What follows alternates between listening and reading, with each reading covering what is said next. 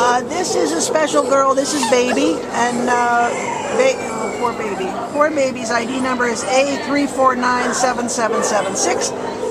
and Baby needs a real special person. So for you uh, potential heroes out there, this is a damsel in distress. She is really having a hard time here. Um, she is a, he, sorry, I keep calling her she because of the name. It's a, a male, uh, nine years old, and he was an owner surrender. And he's really just a mess. He's just not handling it well. he gets snappy if you try to leash him, and Anna here was able to get him finally wrapped in a blanket, and you can see now he's just chewing on the blanket. He's so everything everything stresses him out. He's crying. He just doesn't know what the heck happened to him. He got dumped here, and he's nine, and he's you know he had a family, he had a place to be, and now suddenly he doesn't.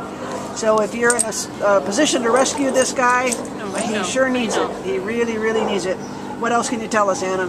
Well, I mean, he's definitely stressed out. He's having a really hard time, but he, I mean, he has made a little bit of progress. Yeah. I mean, for a while I couldn't touch him at all, but earlier I was able to start petting him on his head and, and the back of his neck. So I don't think this dog is impossible. It's just, it's likely he's been with his family all his life and now he's been dumped here. And some dogs just do not react well when they're here.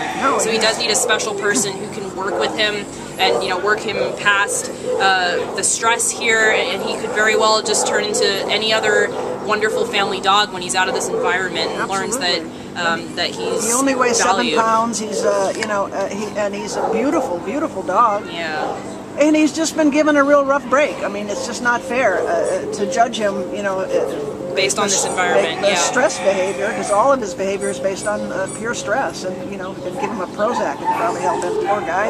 Okay. He's just, uh, he's really, really having a, a, struggle here. So, if you've got it in your uh, uh, capabilities to, to rescue this guy, please, please come and get him. Uh, baby needs some help right now. Boy,